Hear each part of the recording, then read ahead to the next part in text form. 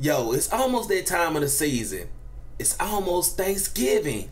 You're gonna wanna be around your family. You're gonna wanna eat turkey, dressing, and mac and cheese. Honestly, I don't eat everybody macaroni and cheese.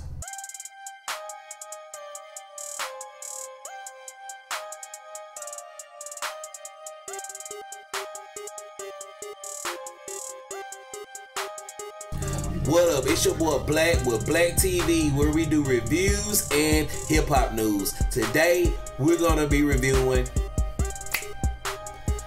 French Montana's mac and cheese food. French Montana been having a lot of problems with this project right here. It's like it's been pushed back, it's been leaked, it's been put in stores on accident. Now he want to make a mixtape out of it, which I think is a great idea for as far as the situation he's been in with Mac and Cheese 4. Let's talk about the cover.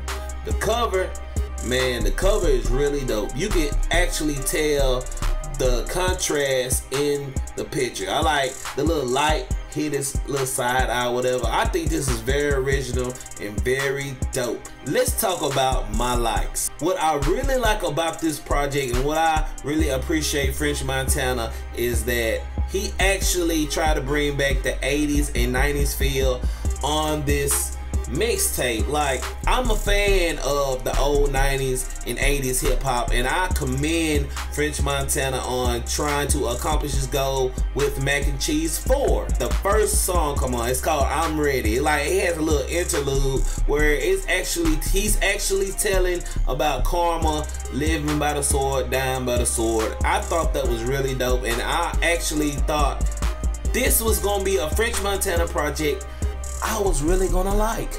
My favorite song is the single No Shopping with Drake.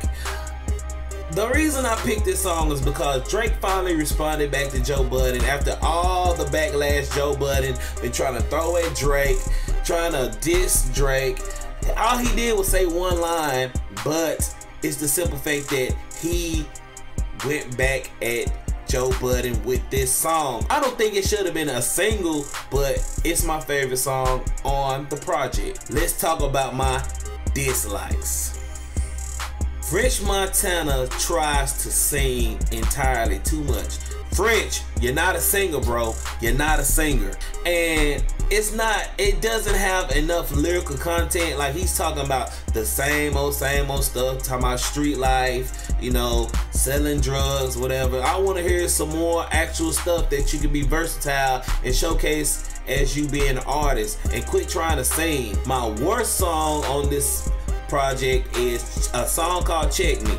It just seems like he's just complaining, complaining. He's not even rapping. It's like he just nagging on and on. I don't like the beat. I don't like nothing on this song. Like I don't even, even understand why he even put this on Mac and Cheese 4 because it's this song is very irritating. The beginning of the song was okay. The skit was okay, but it was very unnecessary to put it in there.